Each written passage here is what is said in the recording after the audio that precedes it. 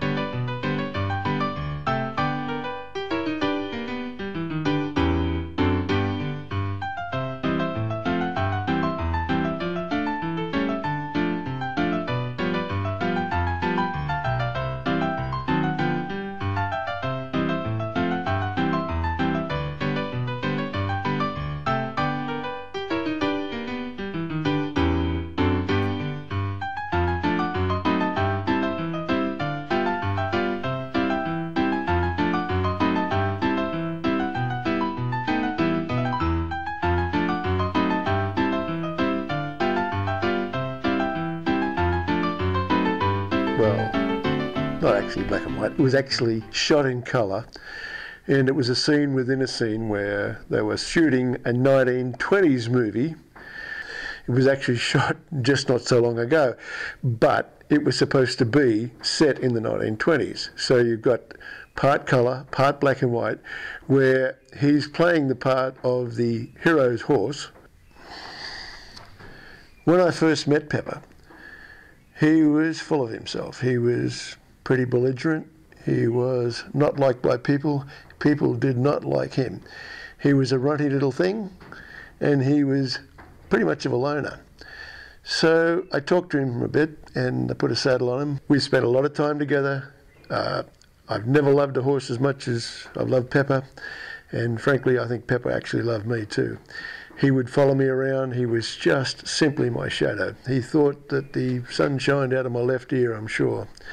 Uh, he was a stallion, and he only ever had two babies. He had one chestnut baby, and then he had a Palomino Appaloosa baby. Now, this is pretty rare if you know anything about horses. A Palomino Appaloosa is basically a mutually exclusive horse.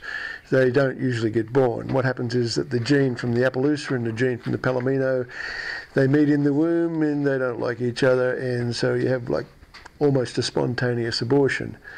But somehow or other, this mare got through this, and she had this wonderful baby who grew up to look exactly like Pepper, who had the most gorgeous blanket on his butt. So even though he only had two babies, he had two very gorgeous babies. Um, it's been a long time now since Pepper's passed. I miss him a lot. We all really, really love the horses we get especially attached to. And it's a shame that they have to pass way, way before we do. We got up to a lot of hijinks together. I did my share of protesting. Uh, here I am on Capitol Mall in Sacramento in California, riding my horse up and down the main drag there. Capitol Mall, mind you.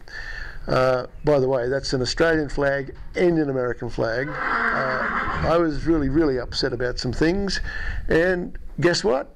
Making a big noise sometimes fixes things. We got to be such, such close friends that I don't think I've ever had such a close friend as this horse. Uh, that doesn't take away from Sam here. I mean, I like Sam too. But in reality, we did some really wonderful things together. We were in a couple of movies. Uh, we were having a lot of fun. So you can change things if you've got a little, you know, moxie to do that. And yeah, Pepper and I did change some things. So go out there and protest. Take your horse out there and protest. People take notice, I can tell you, when you've got a horse. They really do take notice. But he'll always be my favourite horse. I'll always miss him. I'll always miss Pepper.